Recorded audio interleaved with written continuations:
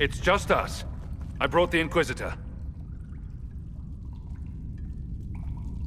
Warden Loghain Mac Tir. I believe we have a common cause, Inquisitor. There was a Loghain who joined the Wardens after he lost Ferelden's throne. The traitor Teyrn. Yes.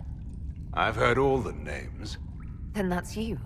I've been a Warden for ten years. They will never fully consider me theirs. Something I've had cause to be grateful for recently. I need to know why the Wardens disappeared. Could it have anything to do with Corypheus? I believe so. After Hawke killed Corypheus, Weishaupt was content to forget the whole affair. If an archdemon can survive seemingly mortal wounds, why not Corypheus? I began to investigate. I found evidence, but no proof.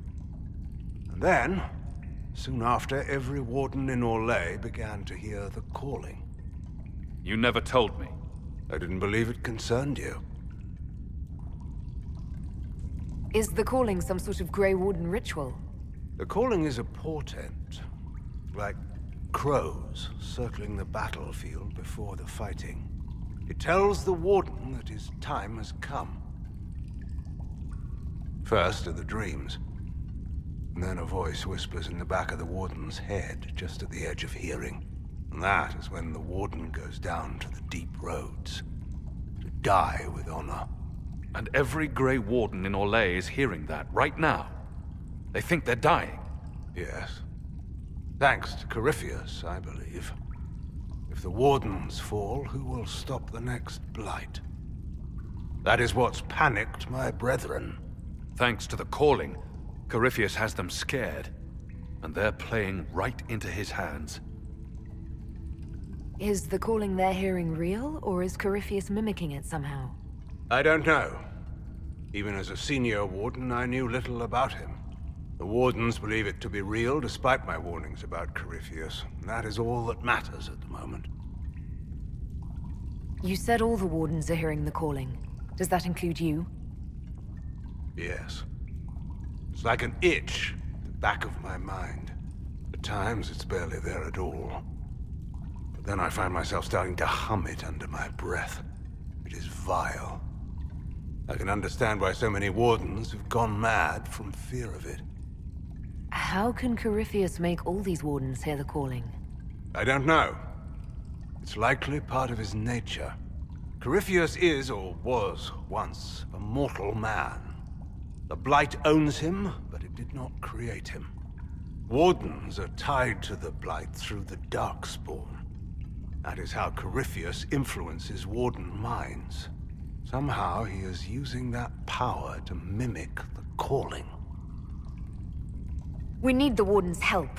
This is the worst possible time for such a lunacy. A blight nearly destroyed Ferelden. A blight without wardens to stop it might well destroy the world. Warden Commander Clarel proposed a ritual involving blood magic. A desperate measure to prevent further blights. When I protested the plan, called it madness, they tried to arrest me. Grey Wardens are gathering here, in the western approach. It's an ancient Tevinter ritual tower.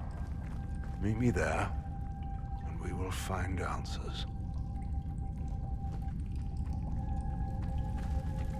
If we wish to stop my fellow Wardens, we should get to their ritual tower in the western approach. You said that Clarel was Warden Commander. I thought that the hero of Ferelden led the Wardens. There's more than one Warden Commander. Each oversees a region, most often a single nation. The man you speak of was Warden Commander of Ferelden, as well as Prince Consort to Anora. He disappeared some time ago. It's possible he joined the rest of the Wardens, although I cannot say for certain. I heard something of what happened in Ferelden. How is it you weren't executed? When your mistakes are public, everyone feels they have the right to a personal apology. Final hours of the Blight, the Wardens were short-handed. They needed every soldier they could get. The rest of my life will be my penance. How did you end up an enemy of the Wardens again? When the calling began, I searched as much as anyone for an answer. I protested the rituals, but faced little resistance until I began to investigate the death of Corypheus. The Warden mages branded me a traitor and attacked. And I defended myself. Clarel ordered my death. I'd like to know more about Warden Commander Clarel. I've served under her since coming to Orlais. She seemed fair before, dedicated. Perhaps that was the problem. I, more than anyone, know the cost. Too much dedication. Do you think Clarel is acting of her own volition? Calling does not control minds, and I doubt Clarel could fall to Corypheus without others noticing. Whatever mistakes she makes, she makes of her own accord. Hopefully, we will learn more in the Western Approach. Corypheus was imprisoned by the Wardens, right? So they must know who or what he is. Secrets are a habit with the Wardens. One that costs many lives. Some knowledge is too dangerous to share. I knew little of Corypheus, and that was more than most. No one thought that knowledge could be vital. I'll talk to you later. Course.